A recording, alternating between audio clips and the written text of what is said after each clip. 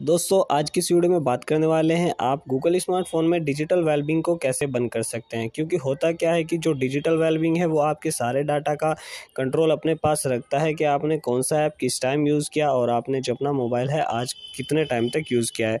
अब मैं, इसके मैं आपको दो ऑप्शन बताने वाला हूँ। एक तो पहला ऑप्शन है आपको सेटिंग में जाना है और डिजिटल वेलबिंग में आकर आपको यहाँ पर एक मैनेज योर डाटा का ऑप्शन आपको देखने को मिलता है। इस पर आपको आना है और यहाँ पर इस सेटिंग को टर्न ऑफ़ कर देना है।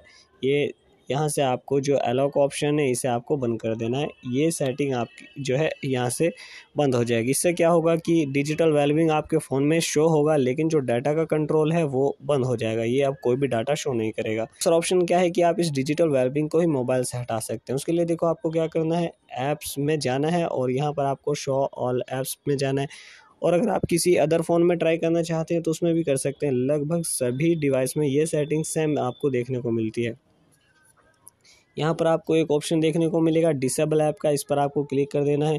इससे क्या होगा कि जो डिजिटल वेलबिंग का ऑप्शन है, वही फ़ोन से गायब हो जाएगा। यहाँ पर आप देख सकते हैं, अगर मैं यहाँ पर जाता हूँ तो ये वर्क नहीं करता है।